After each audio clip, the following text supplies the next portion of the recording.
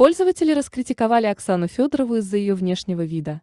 Известная телеведущая и мисс Вселенная 2002 возмутила пользователей сети своим внешним видом на фотографиях с благотворительного мероприятия. Снимки были сделаны на днях во время модной премии «Пара года 2020» от журнала «Мода Топикал». Для выхода в свет она выбрала длинное обтягивающее платье черного цвета с большим вырезом и обнаженными плечами.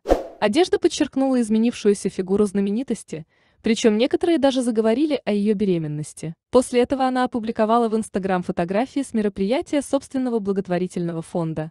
На них Оксана Федорова позирует в платье-пиджаке, скрывающем ее талию.